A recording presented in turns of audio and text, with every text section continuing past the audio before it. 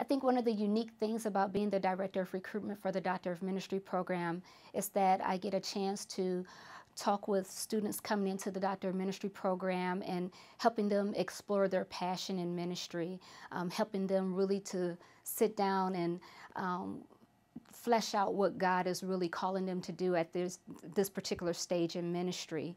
Um, on the other side, for the Doctor of Ministry program, I recall a student who was coming into the program for the very first time and had a hardship um, and wasn't able to start in the fall as he thought he would. And um, he was going through some health issues. And I remember just wanting to stay in contact with that student just to let him know, hey, we're still thinking about you. Um, you know, just let us know when you're ready to begin. And I'm just thankful that he was able to begin the program a year later. But the one thing that sticks out to me is that he came up to me in class and said, You don't know how instrumental you were in me getting here.